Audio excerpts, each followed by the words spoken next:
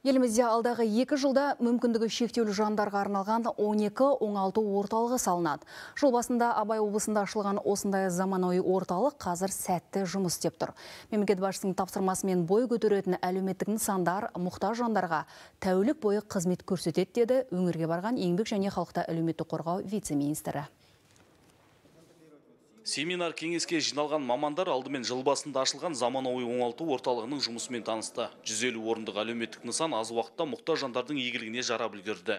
Баланы жас кезінен бастап оңалту шаралары және ол оңалту шаралары комплексті түрде жүрген уақытта оның эффектісі тиімділігі өте э, жоғары болады.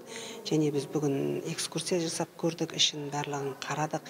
Медициналық әлеуметтік жақтан балдарға келушілерге қызмет алушыларға өте ыңғайлы жағдайда жасалынған. Ерекше күтімді қажет ететін мүмкіндігі шектеулі жандарға арналған ә, әрбір ә, класстары бар. Яғни білімдерін ары қарай оқу кәсіпке бейімдеу деген сияқты залдармен жабдықталған екен Ә, әрине ондай ерекшеліктерді келешекте бізде ә, соны өзіміздің тәжірибемізге ендірсек деген ойдамыз Еңбек және халықты әлеуметтік қорғау министрлігі мен біріккен ұлттар ұйымы даму бағдарламасының бірлескен жобасы бар. Жиын барысында осы жоба шеңберінде жүргізілген зерттеулердің нәтижесі талқыланды. абай өңіріне келген ә, себебіміз ә, мемлекет басшысының тапсырмасымен ә, үлкен жаңа заманауи ә, оңалту орталықтары салынбақшы сондықтан осы оңалту орталығының жұмысы оның ә, ұйымдастырылуы қандай мәселелер бар ол біздің енді өңірлердегі әріптестерімізді қызықтырып отыр Алдағы үш жылда елімізде 12 оңалту орталығы салынады, ал Абай облысында осындай екі орталық ашу жоспарланып отыр.